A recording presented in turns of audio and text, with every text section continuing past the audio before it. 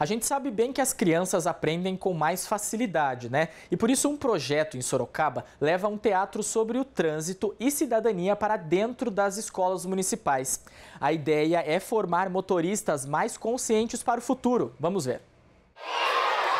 Os alunos saíram da sala de aula para uma didática diferente. Na quadra da escola, as crianças de 4 a 11 anos tiveram a oportunidade de assistir uma encenação interativa sobre o trânsito.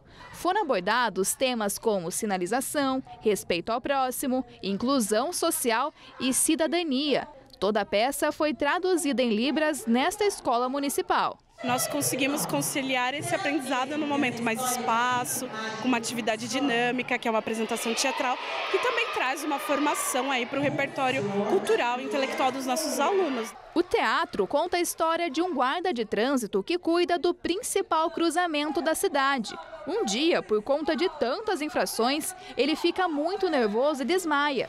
Nesse momento, o GCM se torna amigo de uma pomba e juntos ensinam a importância do respeito.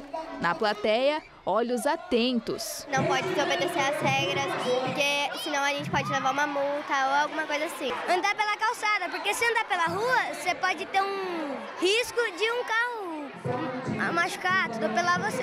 Tem que respeitar o trânsito, que nunca pode é, desfazer as regras, que é muito importante. A atriz que interpreta o guarda, protagonista da peça, falou sobre o objetivo do teatro. Primeiramente, ensinar sobre a gentileza, né?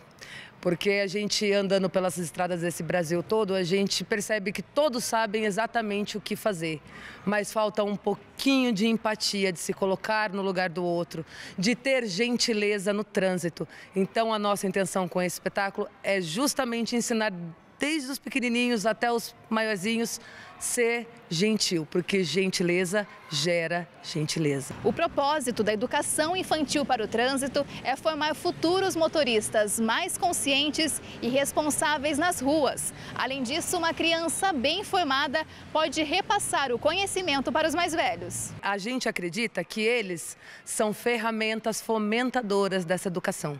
Então, são eles que vão cobrar o pai, que vão cobrar a mãe, que vão cobrar o tio de se comportarem e principalmente de serem gentil, de respeitarem os próximos, de respeitar os pedestres. A Ana Júlia vai repassar as regrinhas que aprendeu. Eu vou apresentar isso para toda a minha família, porque eu achei bem legal. Um dia muito importante para esses alunos. A escola tem um papel primordial é, em garantir que o aluno, ao sair da escola, ele seja capaz de minimamente atravessar uma rua. Então é um processo que é contínuo, não só de responsabilidade da família, mas também de nós educadores. Muito interessante, né? Com certeza eles vão puxar a orelha de muito adulto que faz coisa errada no trânsito, né?